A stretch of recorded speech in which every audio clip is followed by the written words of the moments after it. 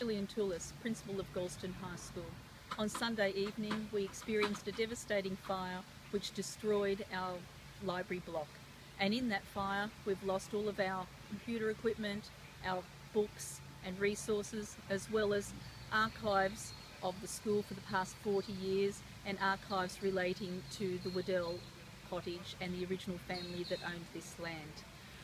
We are devastated by this loss. Five, $5 million worth of building and resources have gone and uh, cannot be retrieved.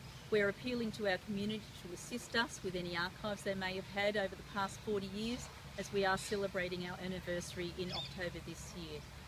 The Dural Chamber of Commerce has been very kind in setting up a relief fund and that information is on our website and we'd be very grateful for families or community um, businesses to support us in our endeavour to get back up on our feet at this time. Our students will be returning to school tomorrow. Staff are here today, but I'd like to thank our community, particularly our families and past students, and the, uh, the Rural Fire Service for their support in this very stressful time. Good. That's